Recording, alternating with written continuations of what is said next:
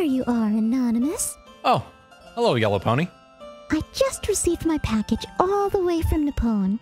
Care to enjoy some Konobatoika Daisha with me? What the fuck did I just say? Some. some what? Am I having a stroke? Just try some Pocky. Mm. Well, what do you think? Do you eat this trash ironically, or do you just have awful taste in everything? Uh, why are you such a jerk?